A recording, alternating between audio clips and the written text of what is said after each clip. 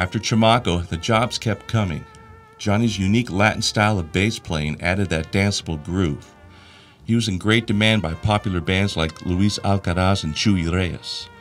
While playing a summer tour with Arcaraz, Johnny met some of Xavier Cugat's moonlighting band members. Well, it happened that they were on a, a week leave. They weren't working. And uh, they all joined the Luis Arcaraz band to do the tr one trip. And I just happened to fall in. They liked me because I was Mexican, and they, they were Mexican.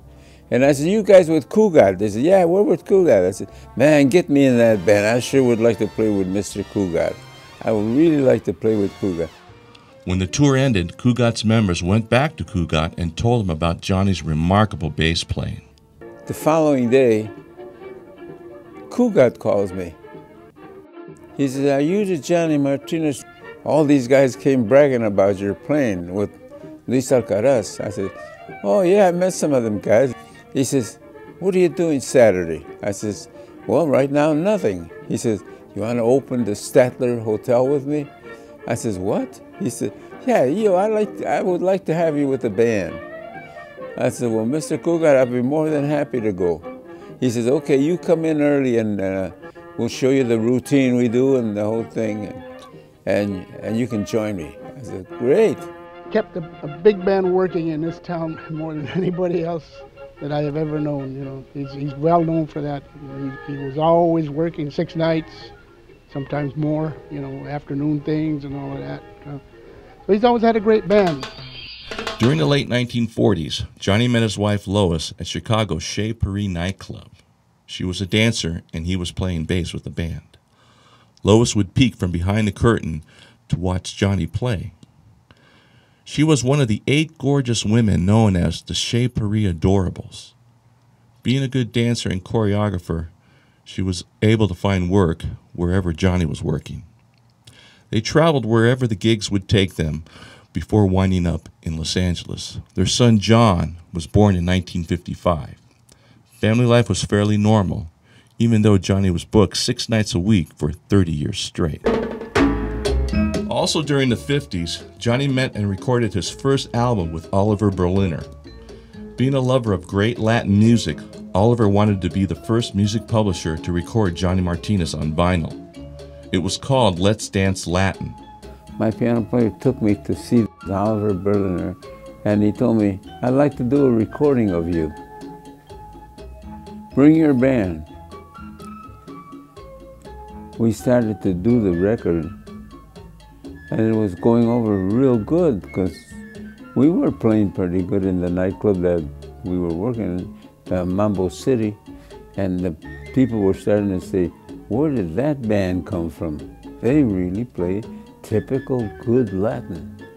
And they didn't have that here. They had the Mexicans, and they played Mexican style rumbas and cha-cha-chas, you know.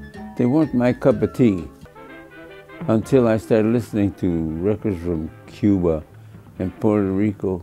And then I said, I don't mind playing Latin like that. These guys really play nice. So I fell in love with the Latin music just in the style.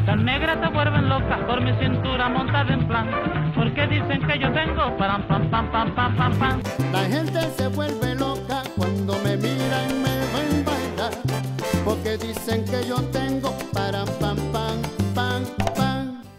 Because I used to play my Latin like this. Listen. Dum, dum, dum, dum, dum, dum, dum, dum, dum, dum, dum, dum, dum, dum. That's the style. So I came off with a style, eliminate the first beat, which is the, the root, and just play the three, four. So I go one, three, four, one, three, four, one, three, four. So play on that, then eliminate the one, and just do three, four, three, four, three, four.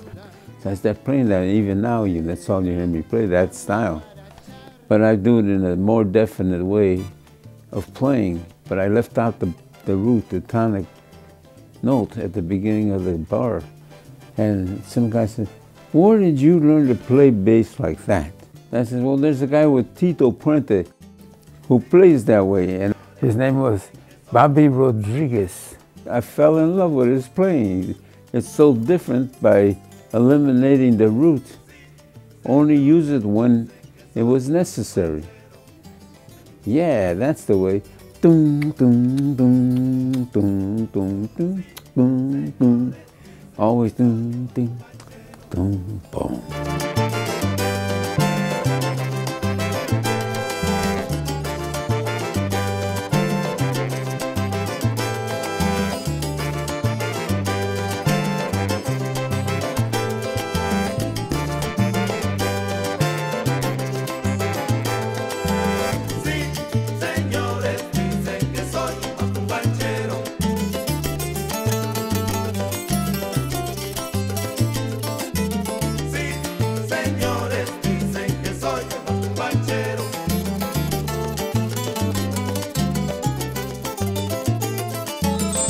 Many albums followed Musica, like Latin, A Bailar Señores, Playtime in Havana, Cha Cha Cha If You Please.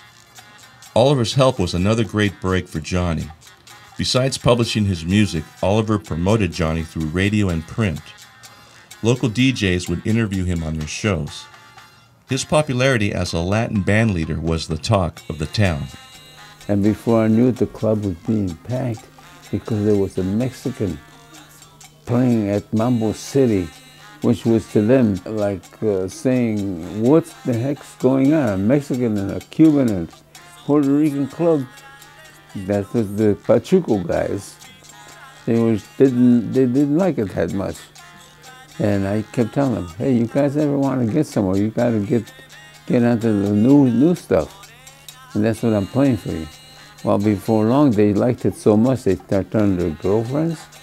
And the clubs got, the clubs I was working at were getting more popular because the people were starting to hear that new sound that I came into California with that nobody in this town played.